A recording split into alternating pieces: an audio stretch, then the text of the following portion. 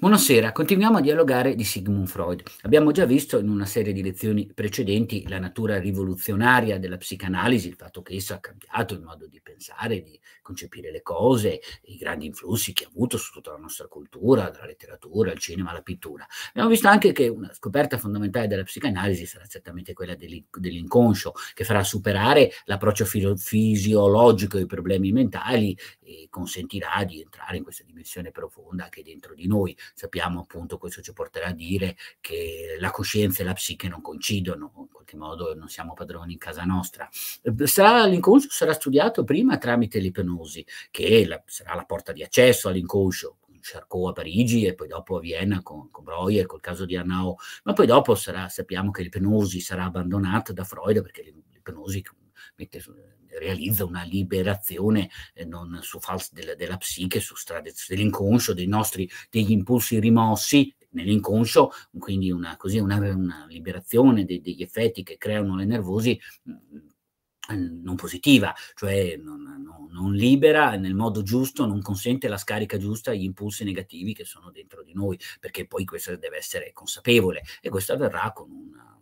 famoso metodo di Freud quello delle associazioni, delle associazioni libere che lo psicanalista realizza, realizza senza l'ipnosi in una forma consapevole. Questo però ci, ci, porta a chiederci che cosa c'è dentro l'inconscio, quali sono, quali sono gli impulsi che sono dentro di noi, cosa caratterizza l'uomo nel profondo e perché dentro di noi, nella dimensione più profonda e più autentica, ci sono queste, queste forze, questi conflitti, queste situazioni molto complesse. Ma perché l'uomo è spinto da una, da un, questa, questa, una grande energia energia biologico-sessuale. È questo che fa l'essere, questo che caratterizza l'essere umano, questa energia biologico-sessuale che spinge, che guida, che anima l'anima, l'esistenza. Eh, queste forze istintive, le forze istintive che sono dentro di noi, sono regolate da due grandi principi, il principio di piacere e quello di realtà, che sono poi i principi che guidano no, tutta la nostra esistenza. È chiaro che questo ci porta subito a capire come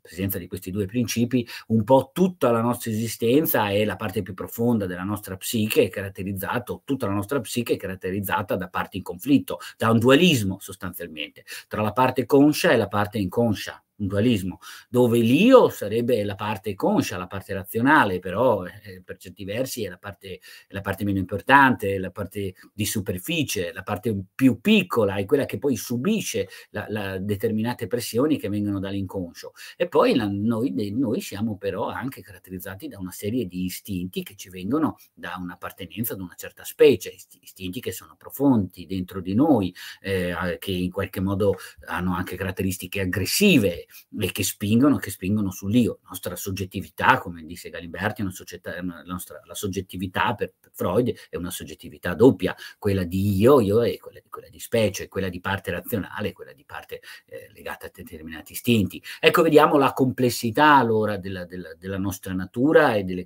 di ciò che, e ciò che la caratterizza. Qui è facile vedere gli influssi di Schopenhauer, sua riflessione su nostra, le, le, i grandi impulsi che sono dentro di noi, la, la, la volontà di vivere che ci caratterizza, le, le grandi tendenze anche irrazionali che, che così segnano, segnano, la nostra, segnano la nostra esistenza. Abbiamo detto, due, abbiamo detto che allora l'uomo è spinto da questa energia, da questa energia. Quindi l'uomo è un animale desiderante un'energia che lo porta a desiderare, no? una volontà di vivere, una volontà di vivere, eh, pensando a Schopenhauer, che è divisa però tra, tra, due, tra due, dimensioni, tra due principi, deve, deve, convivere tra due principi. Abbiamo detto il principio di piacere, che è quello che tende al soddisfacimento dei nostri desideri, che sono quelli che, che ci animano, che ci spingono, che trovano però questo principio di piacere, trova un censore sulla sua strada, che è il principio di realtà, che è un rinvio delle nostre gratificazioni e costringe le nostre pulsioni in genere aggressive, eh, sì, perché noi c'è un elemento di aggressività in noi, connaturato ai nostri istinti, al, al, nostro appartenere anche a un certo tipo di specie, legato anche al fatto che una certa aggressività è funzionale anche così all'esigenza di difenderci o di difendere la nostra prole. Insomma, certe pulsioni aggressive che sono in noi ehm, devono incanalarsi, secondo il principio di realtà, in altre vie. Vie considerate legittime, giuste, valide, sono le vie della, della, della civiltà, le vie della civiltà. E certo che per le repressioni de, de, de, a causa del principio di, di, realtà, l'istinto,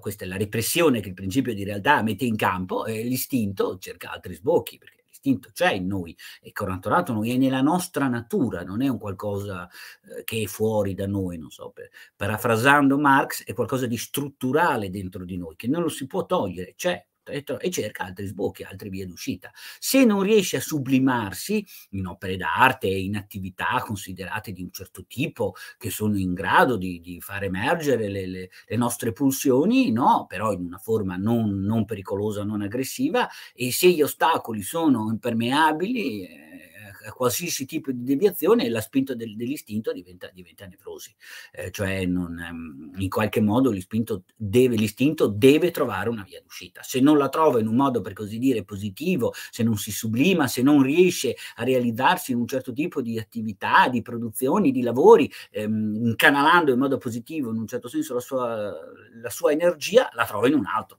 naturalmente negativo, un atto naturalmente negativo. La malattia viene proprio da, da, qui per certi versi, dallo squilibrio che si crea tra la parte conscia, abbiamo detto già prima il dualismo che c'è in noi, dallo squilibrio che si crea tra la parte conscia e quella inconscia. Qui viene la malattia, solo che ecco, una malattia che eh, è nevrosi quando ancora resta lì o Dio in qualche modo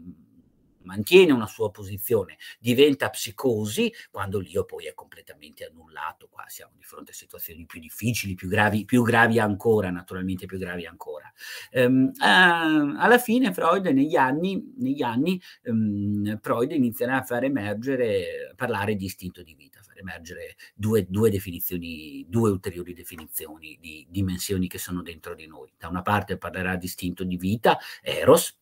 mh, che si esprime nell'amore, nel, nel piacere, nel, nel, desiderio di piacere, contro un istinto di morte, Thanatos, due, due, divinità, due riferimenti greci, Eros amore, Thanatos morte, che si esprime nell'odio, nella, nel, nella forza, nell'aggressività. L'istinto di morte è potente dentro di noi, in una forma potente, l'uomo è per natura aggressivo, abbiamo detto prima, eh, appartiene alla specie, non è solo io razionale, anche la soggettività dell'uomo è doppia, come io razionale, come specie, come specie mh, mm, eh, si caratterizza per una serie di istinti, innanzitutto istinti aggressivi, quindi l'uomo è aggressivo. C'è nell'uomo una crudele aggressività aggressività, dirà, naturalmente per, perché la natura ha dato all'uomo per difendere la prole, dato per difendere la prole, ovviamente non solo per questo, eh, cioè si realizza in una serie di dimensioni.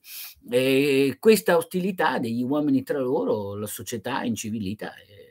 la società civile, per così dire, è minacciata, perché questo comunque l'istinto di morte è una minaccia, perché la realizzazione di tutti i nostri desideri nelle, nella sua realizzazione massima sono una minaccia. Pensiamo a Hobbes, Hobbes, nello stato di natura, l'uomo, eh, ogni uomo è lupo per l'altro uomo, c'è una, c'è una, guerra di tutti contro tutti, il rischio che ci sia una guerra di tutti contro tutti, naturalmente. C'è questo tipo di rischio, ovviamente Hobbes, l'analisi di Hobbes era, era, era diversa, di natura politica, qui di altro tipo.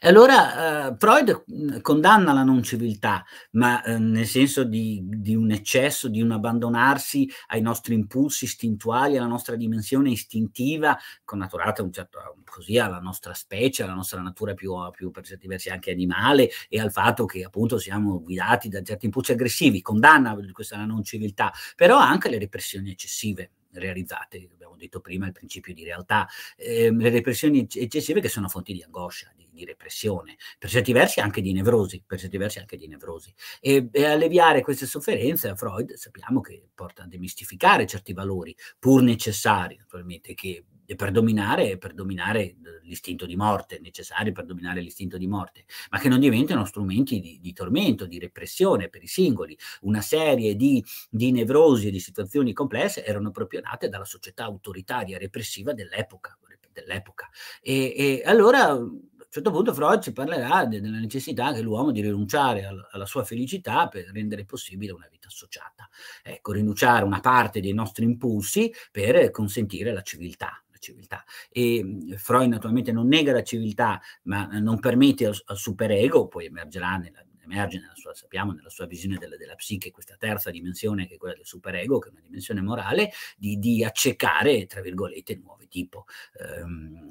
quindi di impedirgli di realizzarsi almeno un certo tipo di creando una, una morale soffocante, repressiva. L'uomo civilizzato quindi ha, ha venduto la possibilità di, della felicità, forse si può dire di una parte della felicità, della felicità per un po' di sicurezza. Da qui nasce poi la civiltà, in questo, questa, questa necessità di un incontro, di un incontro tra la possibilità di realizzarci o di realizzare le parti più profondi che sono dentro di noi, i nostri impulsi, però limitando, limitandoli, limitando la parte della nostra libertà in cambio di una convivenza, in cambio di una convivenza, di una convivenza. Mi fermo qua, eh, vi ringrazio per avermi seguito, vi aspetto ai prossimi incontri dedicati alla, alla, alla struttura della libido, che in modo particolare approfondiremo. Grazie e a presto.